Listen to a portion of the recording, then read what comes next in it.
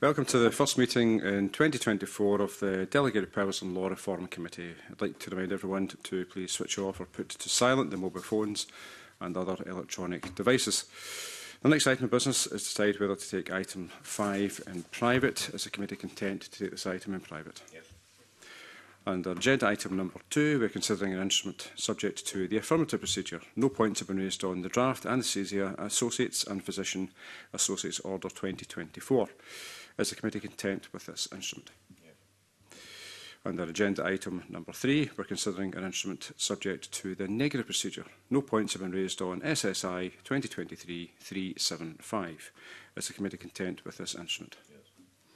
Under agenda item number four, we're considering a document subject to parliamentary control. No points have been raised on the draft Funeral Director Code of Practice SG 2023-300. Is the committee content with this document? Thank you. With that, I'll move the committee into private.